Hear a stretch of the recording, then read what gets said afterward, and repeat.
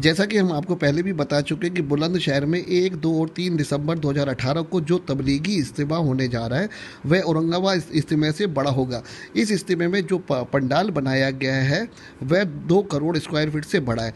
उसका carpet area लगभग ढाई करोड़ स्क्वायर फीट के आसपास है। इस ऐतिहासिक इज्तिमे का मैनेजमेंट सभी लोगों को बराबरी से बांटा गया है। इसमें जो पंडाल बना है और उसकी जो देख रेख है, उसकी खिदमत मेरठ को दी गई है। ऐसे ही इस इज्तिमे में एक हज़ार बीघा जमी को जो प्लेन और साफ़ किया गया है, ताकि लोग इस फर्श पे आराम से बैठ सकें, उसकी खिदमत बुलंदशहर को दी गई है।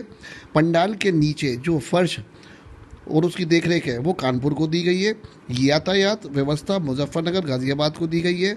बैनर, होर्डिंग, पोस्टर आदि की खिदमत देख रेख आजमगढ़ कर रहा है। पानी का इंतज़ाम गाज़ियाबाद देखेगा।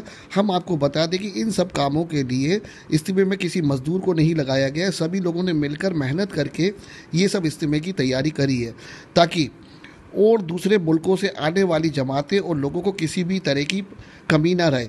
ये इज्तिमा अपने आप में एक ऐतिहासिक इज्तिमा होगा। देखिए, खबर एस की एक रिपोर्ट।